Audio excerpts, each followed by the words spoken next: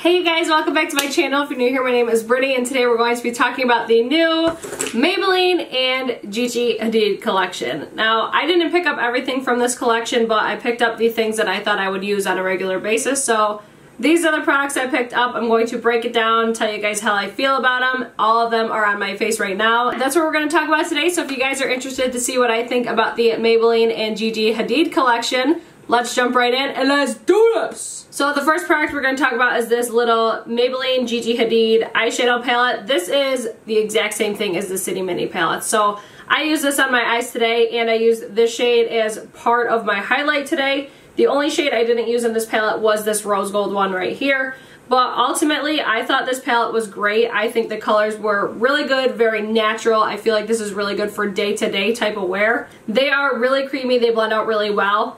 But my only issue with this palette is this is a standard City Mini palette. The only difference is the packaging is a different color. The layout is the exact same and this is $14.99. Why do I have a Makeup Shayla City Mini palette that's only $10? And this one comes with a sleeve over the top, whereas this one did not. I don't understand why there is a price difference between these two. I get it, it's a collab, but so is this one. I really don't like the fact that they're marking this up $5 extra just because it's a collab with Gigi Hadid, especially when there's a collab right here with a very well-known beauty influencer. So that's something I do not love about this collection. I overall really like this palette.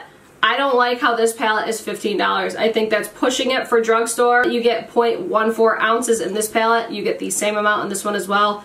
Again, I don't understand why there's a price difference, but I don't know. That's just how I feel about that eyeshadow palette. Okay, so sticking with eyes, we'll move on to this mascara. They did have two mascaras, but I picked up this one because I already know that I love this, and the other one was a fiber mascara.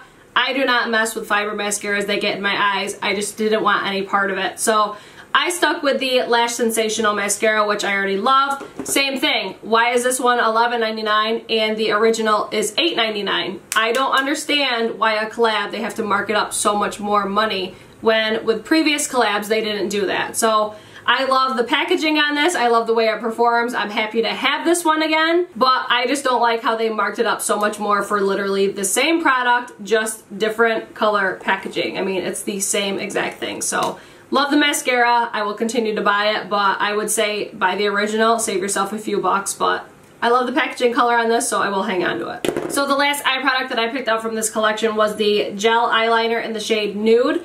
I really did like this. I thought it was creamy. I thought it was nude. It was true to the color, but I thought it was not as opaque as my favorite one, the Rimmel Scandaleyes Nude Liner. The price on this one is $11.99, so that's very pricey for a drugstore liner when my Rimmel one is $4, and I like how that one performed better. I think that's a little much for a drugstore liner, but that's just me and my opinion. I will continue to use this, but I will definitely go back to my Rimmel Scandaleyes because I would not repurchase this, not with that price tag. If it wasn't that much, if it was only the $4 like Rimmel, I probably would repurchase it, but not when I have a cheaper one that will perform better. So yeah, I liked it, didn't love it, so yeah, that's my thoughts. Alright, so ending more on a positive note, we'll end up with lip products. So I picked up the lip liner and lipstick in the shade Taura. I love how they corresponded the lip liners with the lipsticks. So these lip liners actually did not have a markup. These were $7.99, so that made me happy to see. I love the packaging on this. I love how it has the color of the shade on the bottom.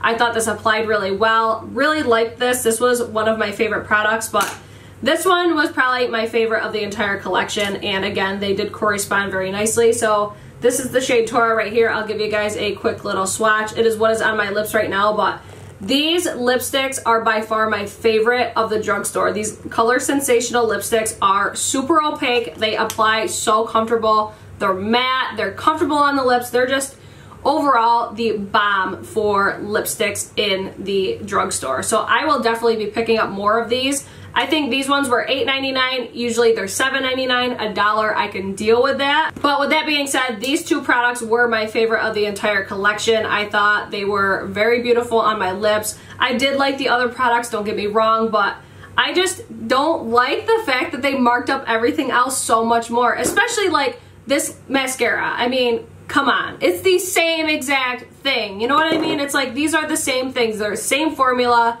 same consistency, same everything as the original products.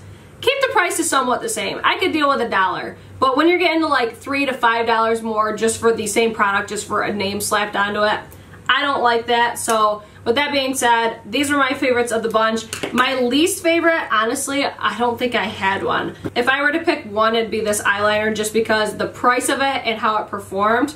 But ultimately, it was still a decent liner. So again, my thoughts on this are a little bit harsh, but that's just me and my opinion. You guys might have different opinions. Do I think this is a great collab? Absolutely. I think the products are excellent. I love the range that they had. They had even more products, but some of them I just knew that I wouldn't use. So I picked up first the ones that I thought I would use. So if there are any other products that you would like to see me use and see my opinions on them, please leave them in the comments down below. But if you guys like these little mini rundowns of collections. Give this video a thumbs up. Make sure you guys subscribe to my channel before you guys leave and hit the little notification bell so you get notified when I upload new videos. So again, I hope you guys enjoyed this video and I hope to see you guys in my next one.